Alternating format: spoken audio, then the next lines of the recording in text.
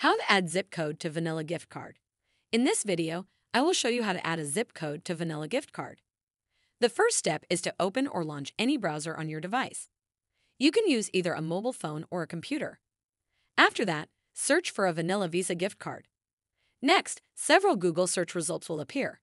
Scroll through the search results looking for the one with the right domain. It is this one here. You will land on the homepage of the Vanilla Visa gift card website as you can see here.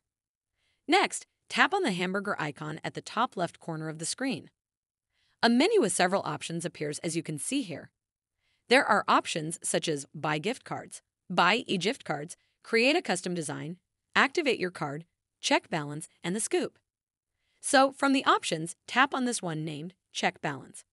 This page where you are expected to verify if you are human may appear. Just solve the reCAPTCHA by tapping on here, and in no time, you will be on the next page. Finally, you will land here where you will see these text boxes that you can use to enter card details to check your balance, review transactions, or activate your gift card. Go ahead and enter your card details here.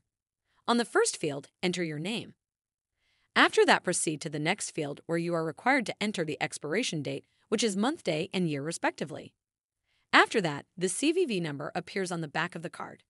When you are ready, tap here, continue, and you will be taken to the next page where you can enter your zip code. That is how to add zip code to Vanilla Gift Card.